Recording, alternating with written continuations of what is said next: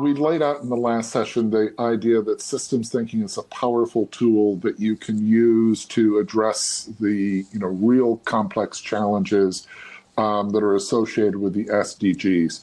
What we're going to do in the next three sessions is really look at specific examples of how that's done and places where it can be used um, and the tools that you can use to make systems thinking not something that's sort of a theoretical approach, but rather a practical tool that you can apply on an ongoing basis to real world problems. So let's go to the next slide. The traditional way that innovation is done in like an innovation lab or a workshop is that you sit around and you brainstorm ideas. So many of us have probably been involved in events where you're given a sharpie and a bunch of post-it notes and you write ideas down on the post-it notes and you try to get as many post-it notes up on the wall as possible. Once you've got all those post-it notes you then start to whittle them away until you come up with the one best post-it note.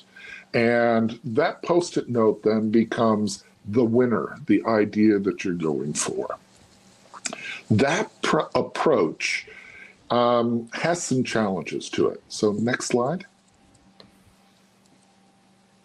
It tends to generate a rush to solution because what you're doing is very quickly doing things off the top of your head and you're trying to come up with something concrete, you tend to end up with rather obvious problems. Something like programs don't communicate well with people in an urban context.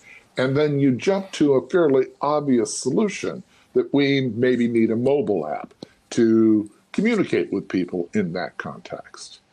And that sort of rush to quick solutions doesn't necessarily produce a bad answer in the sense that it's something that would be, you know, terribly inappropriate, but it's not necessarily a very powerful answer. And there are several ways in which this works against you.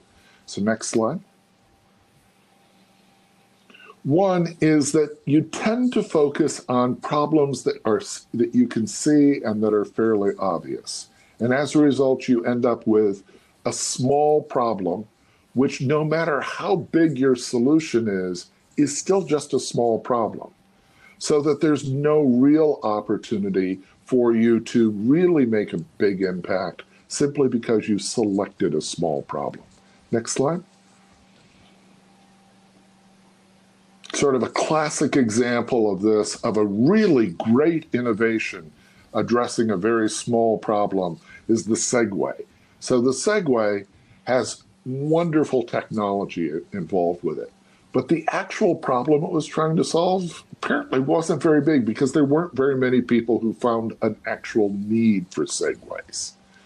So this danger of getting trapped by small problems is the first one, but there's other challenges too. So if we go to the next slide,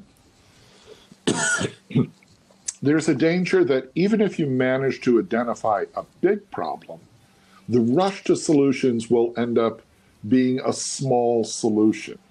So that even if your solution works, you've really only begun to chip away at the problem itself.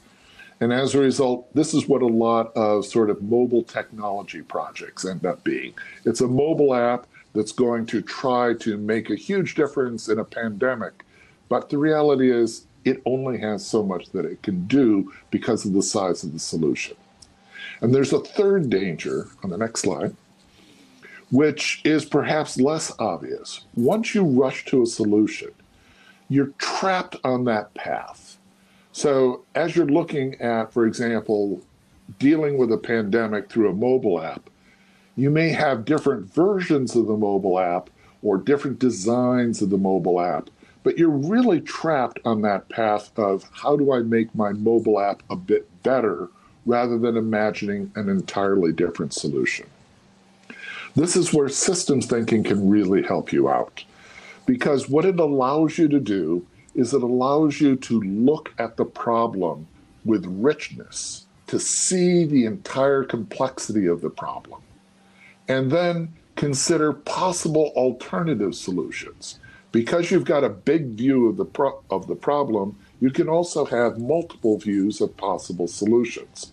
And this provides you both the power of dealing with a big issue, as well as the flexibility of creating multiple solutions.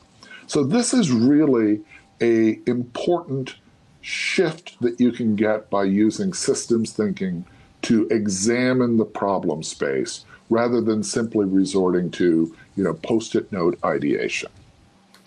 Slide. So what would we say can, constitutes a big idea? Impact, scale, minimizing cost and harm. These are all things that we can attribute to an entire system of a solution rather than an individual piece of technology or, an individual change. Next slide. So I can talk about now how do we do this practically? How do we come up with an idea and not rush into a small innovation? And I'm sure plenty of us, I've certainly done it on this call, have said, you know, not exactly like this, but we need to solve poverty. Okay, let's, I don't know, let's build a new type of shelter. Um, and, and you just, you rush to what you see and that sounds like a great idea and you can do it. But rushing to that uh, solution doesn't explain how difficult it will be to get to, to, implement that solution, and it doesn't actually explain the impact of that solution on the whole problem. So, the way that we understand um, bigger problems and therefore create bigger and high impact solution is we draw a diagram of how the world works. And this is a diagram of clean cook stoves. Then you can see there's different actors, there's different activities, certainly connections, and you start to group things as well. And so there are many examples of uh, great cook stove technology, great clean cook stove technology. I was looking at one the other day.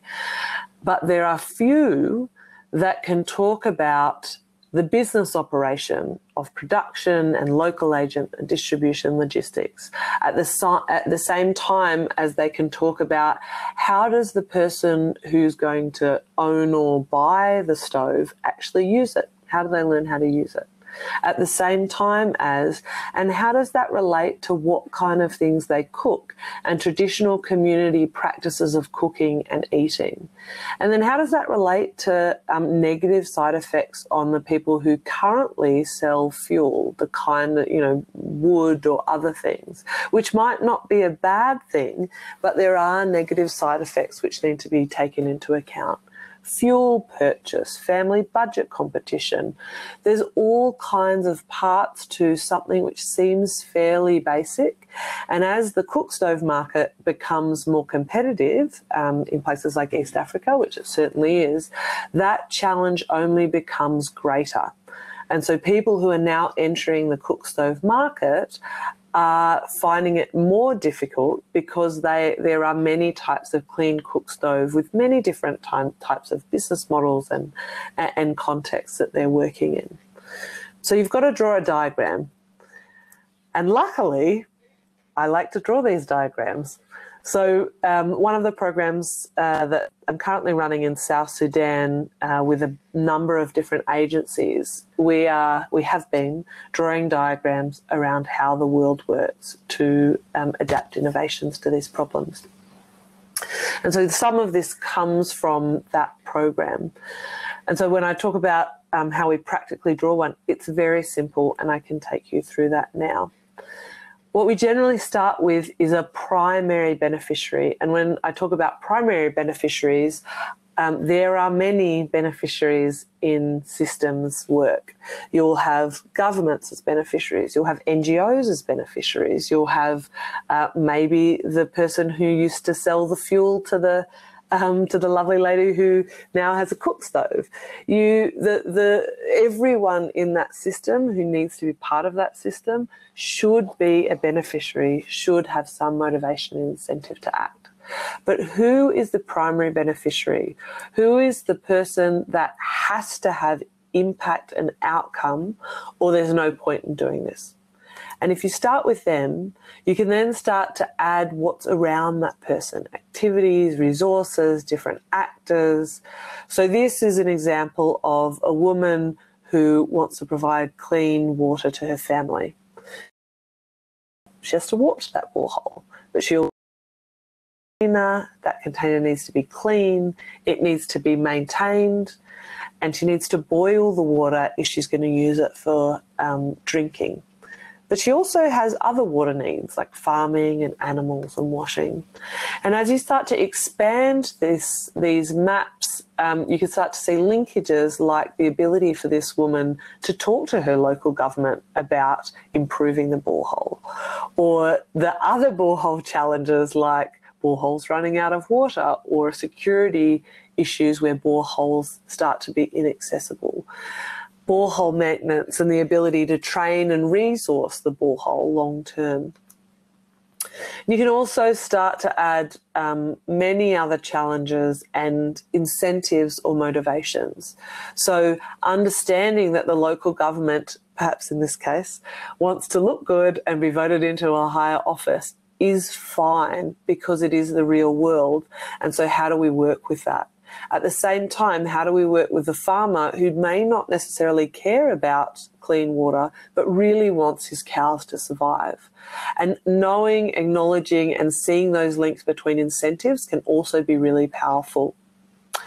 So, this is an example uh, of a map that we did in South Sudan and to um, to explain this, this was a challenge around a community nutrition volunteer. That's the woman in the centre with her um, piece of paper. And the challenge was we want um, better data from community nutrition volunteers. And so we, we ran to a solution. It was we need a database, we need a phone, we need an app. That person enters in um, enters in the data into the app and it will create better outcomes, lower secure, uh, severe acute malnutrition and moderate acute malnutrition for children. And then we started to draw the map and we looked at different um, groupings, like in the top corner, the training and identification of community nutrition volunteers and screening um, of children by those community nutrition volunteers, and the whole cycle of attitudes and community attitudes towards malnutrition, and of course, the treatment centres and uh, institutional interests with the Ministry of Health.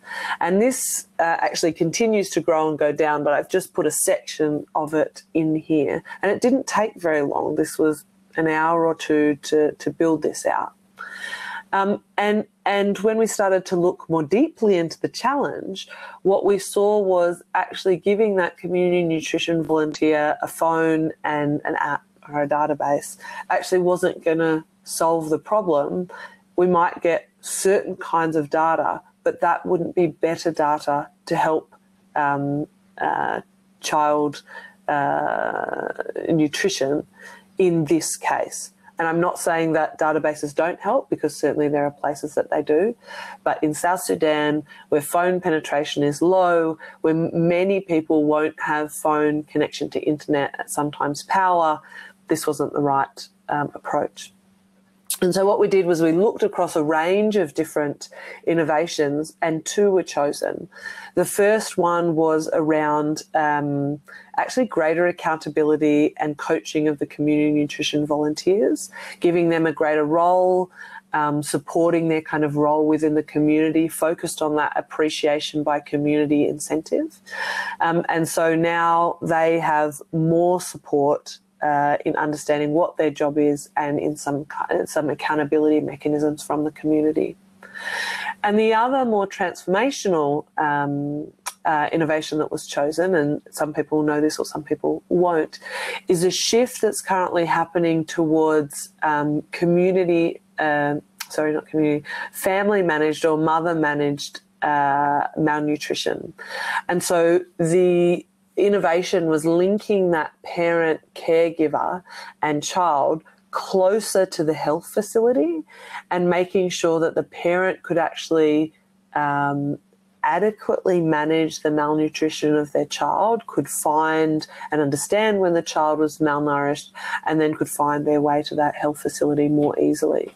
And that's actually quite a um, radical change because it then takes out essentially the role of the community nutrition volunteer and changes the screening process, changes the institutional process of support, um, but is starting to show that um, there is much better management of child malnutrition if it's done well. So it gives you an idea that if you rush to a problem, there is a simple solution. Something will come up. And certainly it's exciting. A database, an app, a phone to get better data is really exciting. But if you explored this and you took the time to really map it and see where the connections were, um, you could see that you could do something with much higher impact that would be much better at solving the problem than um, providing a database. I'll pass you back to Dan. And before we go back, maybe I could ping a couple of questions off you on that prior diagram. Please. Mm. So, when you were building this diagram, hey, go back to the prior diagram. There we go. When you were building this, who was in the room? Who was helping you build this? Were these people who were like trained innovators, trained systemsy people? You know, talk a little bit about maybe what that process was. Yeah, great. So we had um, a very committed nutrition manager who was um, not the technical specialist for the organisation, but a manager of one of the programs who was based out in the field in Sudan. Um, we had some local partners um, of uh, that nutrition program, so CBOs. Um, we had kind of coming in and out um, some of the program development quality people who could talk a little bit about um, the institutional side, but there was no senior management, there was no uh, lead technical expertise uh, for health. There were people who do programs, uh, who implement programs. Mm. And the post-its I see you have three different colors there.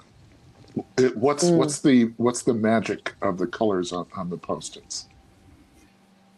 Colors are magical. You definitely don't need to use them, but I'm a bit of a colorful person.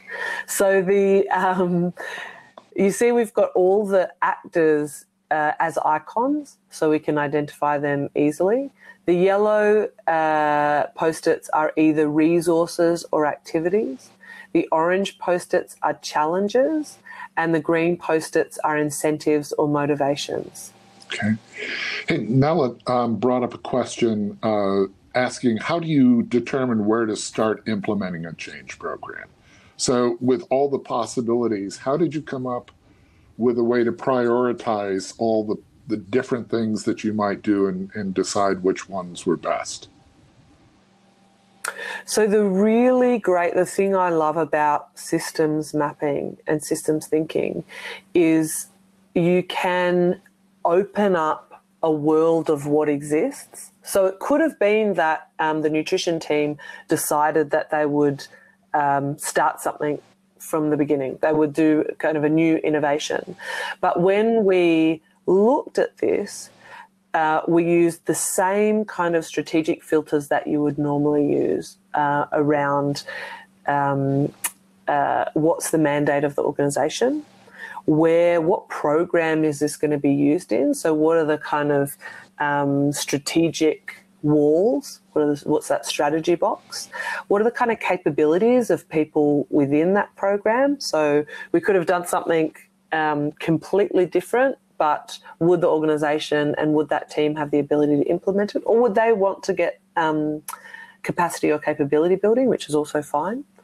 Um, we looked at the what Dan was talking about previously, which is the size of the problem and the size of the solution, and what fit within their country level strategic interests, and what would be supported by management and the Ministry of Health and the cluster and that kind of thing.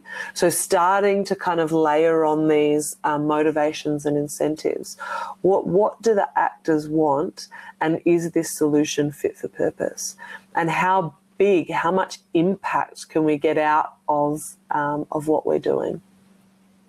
So, some of there's many different um, strategic lenses or layers, but they're some of the ones we used. Cool. So Paula was asking, um, when do you start looking at grouping these things? So you've got a very elaborate diagram here. Um, how did this level of sort of sophisticated arrangement emerge out of out of your process?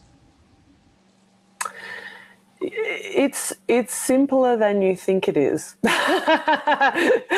which is not to be opaque. Um, so really, these maps, uh, these these system maps, um, can be as big or as small as you want. And as Dan um, alluded to before, there's never an so the, the first version of this map was 20 minutes of three people sitting around a table and just drawing what does this look like? What does this challenge look like?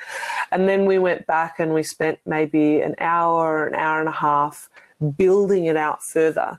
And at the end of that period, we said, okay, so what kind of things do we have in here? What kind of groups do we have? And it kind of came together quite easily, as you can see in this um, map you kind of said, okay, so there's this whole background of the CNV. And what you can't see, but what's under here is there's a whole piece around the CNV supporting their family. And so where do they live and how far do they need to travel and how do they look after their children? And screening is very different from treatment. And that's done in different locations. Um, and then, of course, the community and community attitudes is very different again. So the answer to your question is you can group at any point you wish, um, and you can continue to grow this map and change this map. And maybe if you you thought actually we want to focus on training and identification of, of community nutrition volunteers, then you could build that piece out much more, and maybe you'd even have um, training would be its own box, and then identification would be its own box. So this is certainly not a final uh, piece of the system, this is where we got to, which was good enough to um, decide what we wanted to do. Let's go on to the next slides, but I'll quickly answer Paula's um, other question of can this lead to different um, solutions? And the abs- answer is absolutely yes. And what's nice is that it can lead to different solutions halfway through the program, too. So if you've decided that the original idea isn't working quite the way you had you wanted, you've got a place to go back to to reimagine and to restart. And this is ties into the idea that these maps, these diagrams of how the world works, they're continually evolving. And so you can think of them, everyone is a draft, that you're continually changing and updating and expanding as you go forward. And this same type of tool, for, for what it's worth, can be used to draw out how you want the future to look. So you don't have to just have a map of the way the world works. You can also do a map of the way the future should look. Next slide.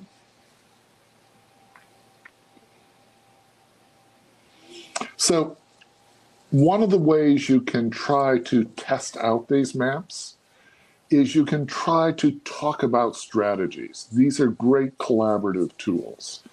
One of the things that often happens with experts is they have all of this detail in their mind, all these different pieces of things, and they have a really hard time sharing it with anybody.